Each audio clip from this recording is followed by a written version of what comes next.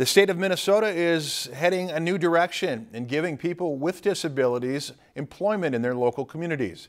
The new focus for the Minnesota Department of Human Services is to seek individualized employment based on their interests and talents.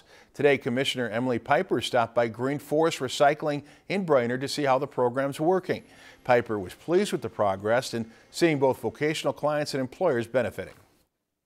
We've got a lot of folks who are working in sub-minimum wage jobs and who maybe could, if they had the opportunity to have supportive employment services, to go and work in an integrated setting and meet new friends and have new, you know, colleagues that, um, you know, are a great resource for them and they're a great resource for the community. So we're really excited about what's happening in Brainerd.